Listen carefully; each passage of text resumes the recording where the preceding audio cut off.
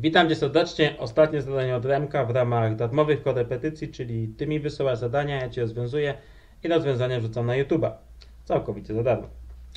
Dobrze, następne zdanie jest takie. Oblicz objętość i pole powierzchni całkowitej stożka o tworzącej długości 4, czyli tu sobie zapiszemy, że to jest 4, tu jest 4 i kącie do zwarcia e, o mierze 60 stopni, czyli ten nasz kąt do zwarcia to jest oczywiście ten cały kącik. Tak? Ja tu napiszę 60 stopni. No i teraz tak, pierwsza podstawowa, najważniejsza rzecz. Ten trójkąt, czyli ram, tworząca stożka, tworząca stożka i średnica podstawy, to jest trójkąt równoboczny. Dlaczego? Jest on na pewno trójkątem równoramiennym. To znaczy, że tak na szybko, tu jest kąt alfa, tu jest kąt alfa i wiemy o tym, że alfa plus alfa plus to 60 stopni. To ma być 180, bo jak dodamy kąty w trójkącie, to ma być 180. Odejmiemy sobie 60 stopni. Alfa plus alfa to jest 2 alfa, czyli wychodzi 120 stopni, bo 180 minus 60 to jest 120. Dzielimy przez 2, czyli alfa równa się 60 stopni. Ok? Więc skoro jest 60, 60, 60, to to na pewno jest trójkąt równoboczny. Ok, czy ja sobie to skasuję? Tu napiszę też 60 stopni od razu. I tu też 60 stopni. Ciach.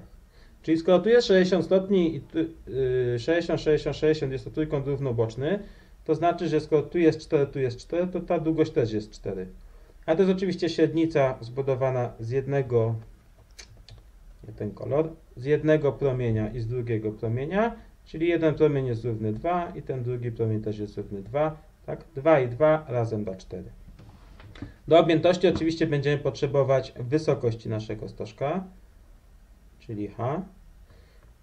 Albo go liczymy z Pitagorasa w trójkącie 2, 4, no i ta wysokość, albo z trygonometrii też dokładnie w tym samym trójkącie.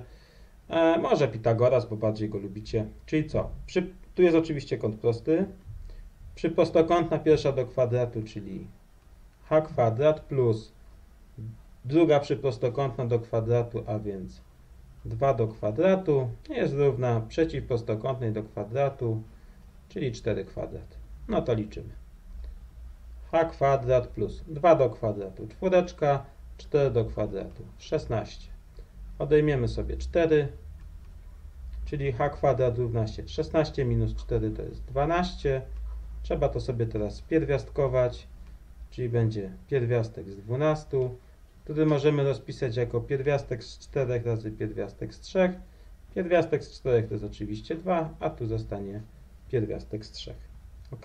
Dobra.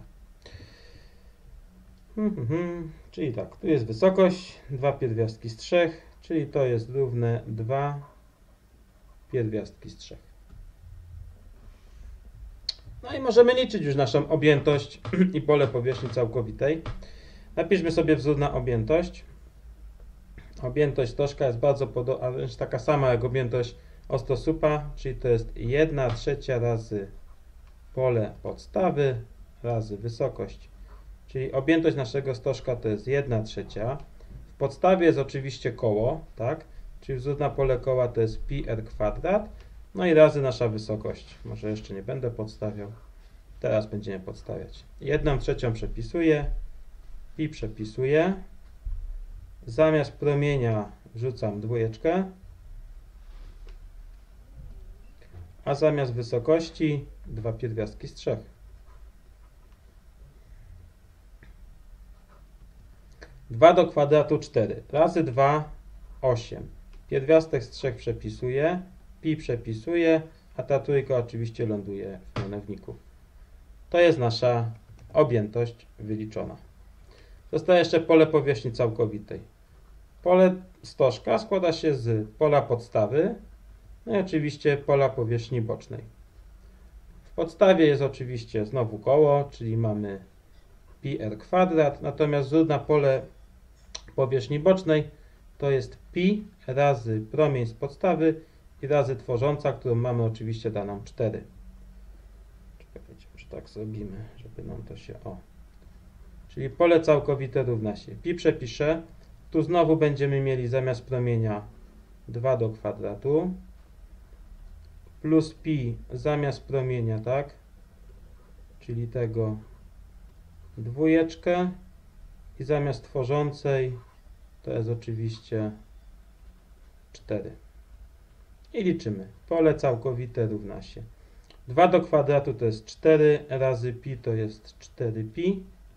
2 razy 4 to jest 8 i razy pi to jest 8pi. Czyli pole całkowite 4pi plus 8pi 12pi. I to kończy nasze zadanie. Tak? No i tyle. 13 albo 14, już nie pamiętam ile tych zadań było od Remka zrobione. Jeżeli ty masz jakieś zadania, nie wiesz jak je rozwiązać, śmiało wyślij mi je na matematyka z pasją małpa.gmail.com. E, Wezmę, przejrzę, rozwiążę i wrzucę Ci rozwiązanie na YouTube'a. Jeżeli podoba Ci się to, to, co robię, w jaki sposób tłumaczę, daję Ci to coś, łapka w górę zawsze mile widziana. E, No i co? Dzięki, do usłyszenia i czekam na Twoje zadania. Cześć! Zmotywuj nas do dalszej pracy, zostawiając łapkę w górę i subskrypcję. Jeśli dalej masz problemy z matematyką, zajrzyj na naszą stronę matematykaspasją.pl